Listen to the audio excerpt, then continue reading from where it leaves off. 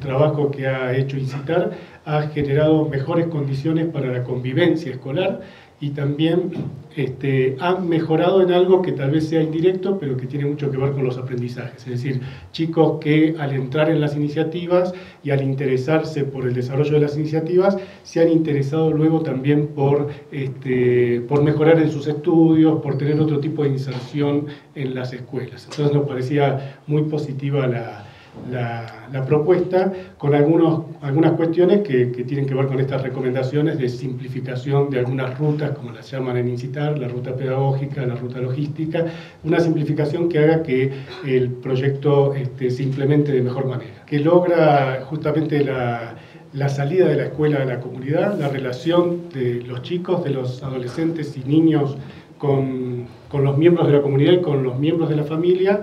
y logra también algunos objetivos que se ha propuesto incitar, que es empoderar a los niños y es también cambiar o por lo menos movilizar lo que serían las relaciones de poder entre niños y autoridades educativas, docentes.